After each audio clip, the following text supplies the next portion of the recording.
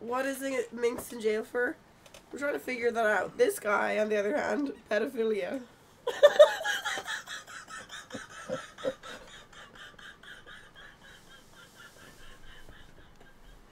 You can't joke about that. You can't make a. It's, we're not in fucking Ireland anymore. we're not in Ireland. we're not in Ireland.